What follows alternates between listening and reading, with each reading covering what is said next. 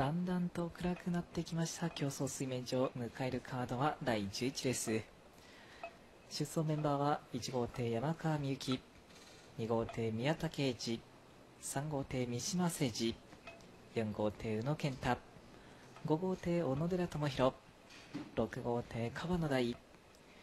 以上の6選手が争います。インコースは1号艇の山川美幸です。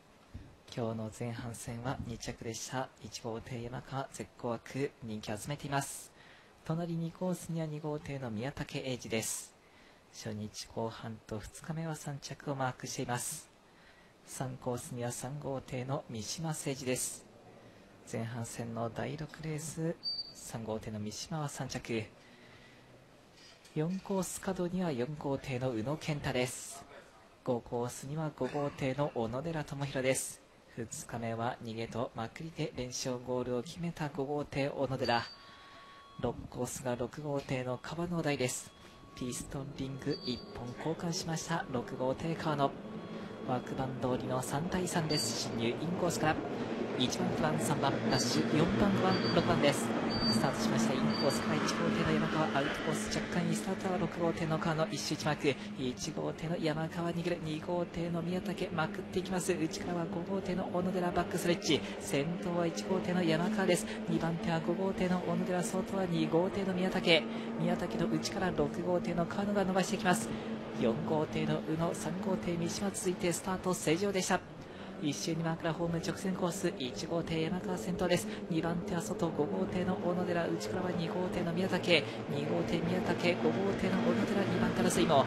安定進ほど外5号艇の小野寺2番手優勢も。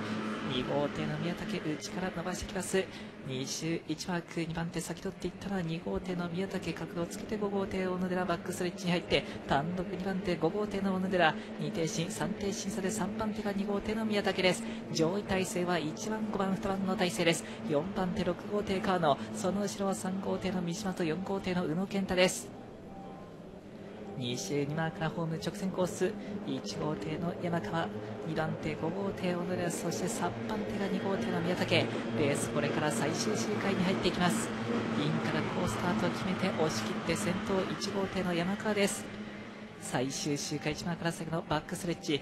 2番手は5号艇の小野寺3番手2号艇宮武。上位体制消してます。1番5番2番の体制です。4番手は6号艇の川野。4号艇の宇野健太。最高峰には3号艇の三島です。3連単のオッズ。1番5番2番。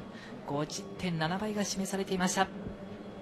ラストターマンから最後のホーム直線コース。まもなくゴールです。先頭は1番山川五里5番の小野寺2番の宮武五里6番川野五里3番三島。4番の宇野健太接戦で五里